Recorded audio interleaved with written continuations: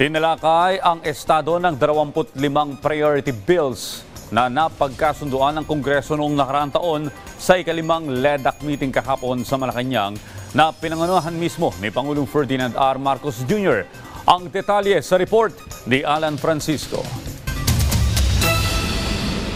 Sa ikalimang Legislative Executive Development Advisory Council o LEDAC meeting kahapon sa Malacanang na pinangunahan ni Pangulong Ferdinand R. Marcos Jr., inilatag ang mga prioridad na panukalang batas na ipinangako kapwa ng Senado at Kamara na ipapasa bago magtapos ang kasalukuyang sesyon. Kasama rito ang pagreforma sa Philippine Capital Markets, Archipelagic Sea Lanes Act, amendments to the Right-of-Way Act, excise tax on single-use plastics, at rationalization of the mining fiscal regime.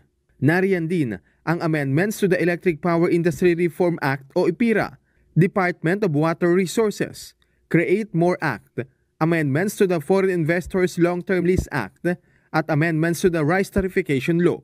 Para sa second list ng prioridad ay ang Blue Economy Act, Enterprise-Based Education and Training Framework Act, amendments to the Universal Healthcare Act, Open Access in Data Transmission Act, Waste to Energy Bill, Mandatory Reserve Officers Training Corps o ROTC at Unified System of Separation, Retirement, and Pension of Military and Uniformed Personnel. Kasama rin ang E-Government Act o E-Governance Act, amendments to the Agrarian Reform Law at ang Philippine Immigration Act.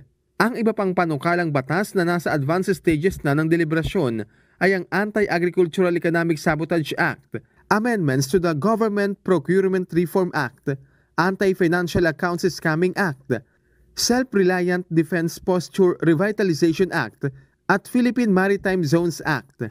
Kabilang din ang Academic Recovery and Accessible Learning o Aral Program Act at VAT on Digital Services and New Government Auditing Code.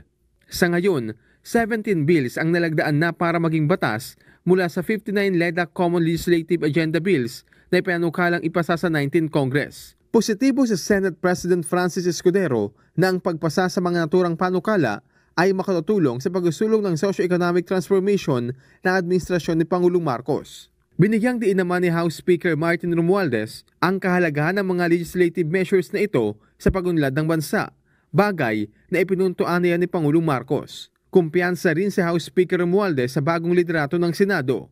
Ang LEDAC ang nagsisilbing consultative at advisory body sa Pangulo pagdating sa mga programa at polisiya na magagamit sa pagkamit ng mga hangarin ng bansa. Samantala, sa kanyang social media post, inanunsyo ni Pangulong Marcos ang pag-aproba sa Philippine Digital Infrastructure Program. Natalakay naman ito sa kanilang 18th NEDA o National Economic and Development Authority meeting. Alan Francisco para sa Pamansang TV sa Bagong Pilipinas.